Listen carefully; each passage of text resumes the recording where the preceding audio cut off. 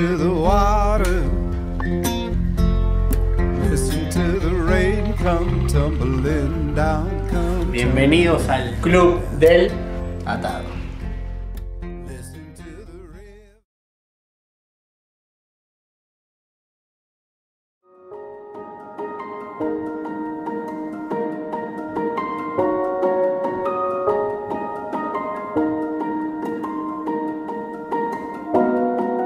Fernando y mi trucha.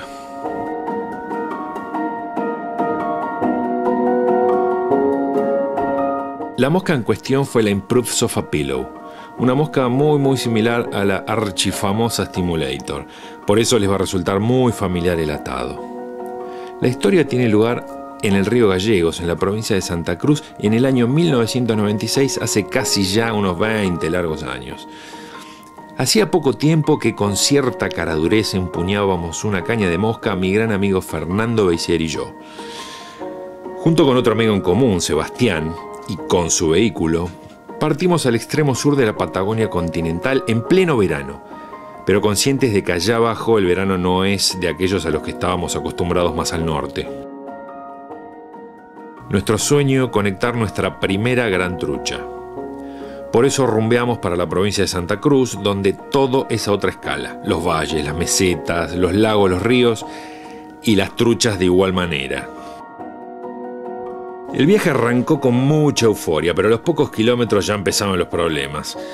El vehículo de nuestro amigo Sebastián, una flamante Lada Niva, que tenía su viaje de bautismo, nos dejó a pata, como suele decirse, a pocos kilómetros de Bahía Blanca, en las puertas de un pequeño pueblo llamado Algarrobo. Diagnóstico junta de tapa soplada. Ah, para hacerla corta, estuvimos una semana en el pueblo acampando en los fondos del taller mecánico en donde yacía destripada la Niva esperando un trasplante de junta que debía llegar de Buenos Aires. Finalmente retomamos nuestro viaje. Pescamos en varios puntos de acceso público, pero los últimos días los dedicamos a acampar en un camping que para entonces existía al lado del puente sobre el río, en el paraje llamado Gueraique. En esos años era muy común pescar solos, muy poca gente, y de hecho esa no fue la excepción. En esos años nuestra experiencia en la pesca con mosca era bastante limitada, y todavía más en la pesca de marrones de mar. La verdad no entendíamos nada. Ya la primera noche acampando al lado del agua, acostados para dormir, comenzamos a escuchar sonoras explosiones en el agua. Al principio no entendíamos, pero no tardamos en darnos cuenta que esos sonidos no eran otra cosa que las marrones saltando como locas. Casi no pudimos dormir de la excitación esa primera noche. Al día siguiente por la mañana ya nos saltaban, de vez en cuando alguna, por ahí perdida. Aún con el río bajo, y vaya uno a saber por qué, estábamos intentando con líneas sinking y streamers enormes de todos colores. Ah, cosa de principiante. Obviamente los resultados fueron desastrosos. Tres días y ni un solo pique. El último día se presentó absolutamente calmado, sin viento. Un milagro. No pasaba nada.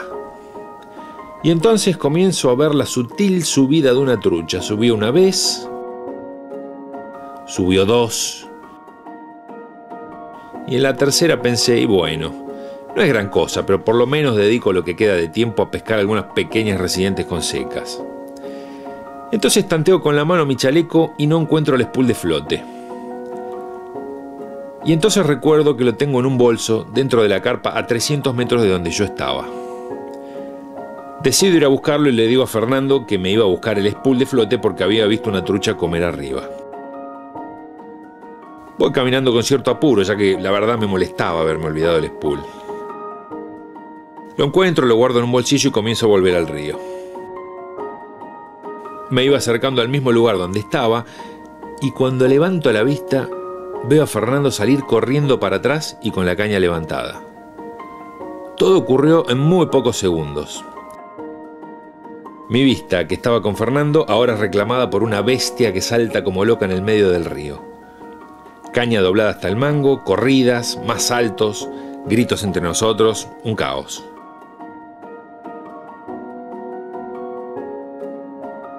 Finalmente la pelea va cayendo en intensidad, me acerco más a Fernando y a medida que me voy acercando y veo la bestia que había clavado, le pregunto, Chefer, ¿qué streamer te tomó? Fernando me mira y no me contesta, como con cara de culpa. Hasta que me dice, no, no fue con streamer, fue con seca. Le digo, ¿cómo con seca? Y responde, sí. Cuando vos me dijiste que había trucha subiendo y que te ibas a buscar el spool, yo me toqué con la mano el chaleco y sentí que mi spool de flote estaba ahí. Y no pude resistirme. Puse la línea de flote y en el primer tiro, cuando vos estabas volviendo, clavé la bestia. Ah, bueno. En ese momento me sentí el pescador más estúpido sobre la tierra, por no decir otra cosa. Pero Fernando hizo lo que tenía que hacer. Pescar. El que cometió el error fui yo, no él. Y mi última pregunta fue, ¿y qué mosca? Y su respuesta, un Improved Sofa Pillow, en 10.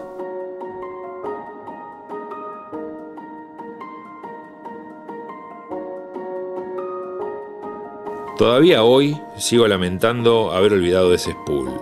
Y tengo en mi mente muy claro dos momentos. Uno cuando siento el vacío en el chaleco y el otro al ver a Fernando correr hacia atrás como si hubiera visto al diablo en persona.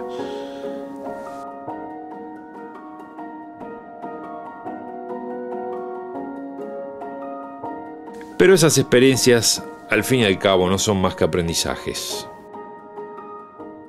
Y todos debemos pasar por cosas así para ir evolucionando y, en definitiva, aprendiendo cómo fastidiar un pez.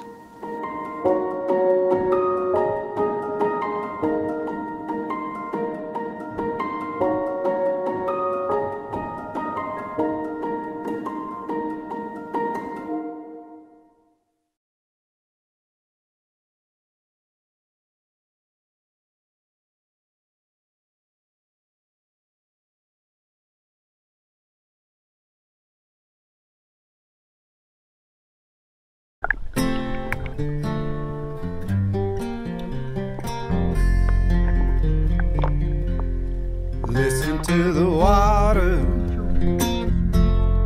Listen to the rain come tumbling down,